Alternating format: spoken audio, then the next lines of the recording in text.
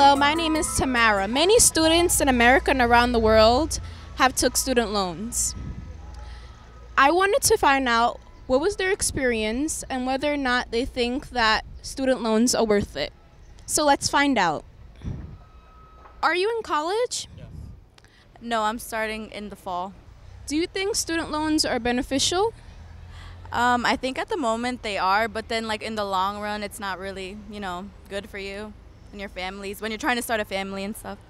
Would possibly be a good idea if uh, student loans were more like home loans in that you know they establish some degree of risk and you know there's a consideration of risk and the potential monetary reward when someone finishes with their education after um, otherwise generally good idea student loans often serve as something to tie down students that are trying to make economic progress for themselves but often are held back by the, the amount of loans that they have to pay each month.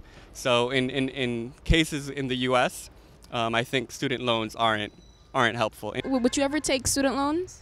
Um, right now, as we were discussing it with my parents, um, we were actually thinking about not doing it just because they don't want me to be in debt when I'm older.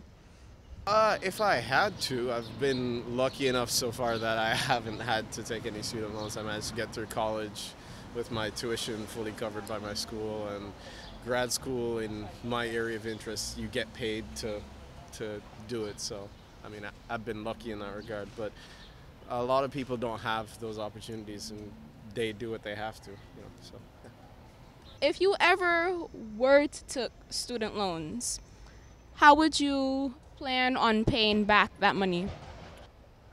Working. I know I wanted to do in college. I wanted to do the work study. So maybe while working can pay off my um, my student loans. What are you studying? Mechanical engineering. Okay, um, are you taking student loans? I am.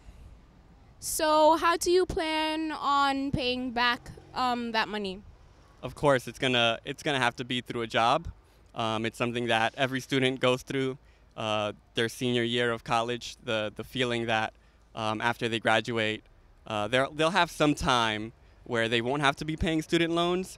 Um, and some student loan companies do offer uh, maybe six months of, um, they call it, well, I, forget what they call it exactly, but um, you don't have to be paying student loans for some time after you graduate. But afterwards, uh, that bill is going to be coming to you each month, and it's pressure for you to find a job no matter what it may be. In, in my case, a lot of uh, students in my school um, regardless of what they study, whether it be mechanical engineering like I do, whether it be English, whether it be philosophy, they go into into fields where they otherwise wouldn't have. Finance and consulting and other like things uh, related to banking often is the case. So, um, how I'll be paying it back, I won't be going into those fields. I'll try my hardest to, to stay in mechanical engineering, but oftentimes it leads to students doing or, or working in places that they otherwise wouldn't be. Okay, thank you for your time.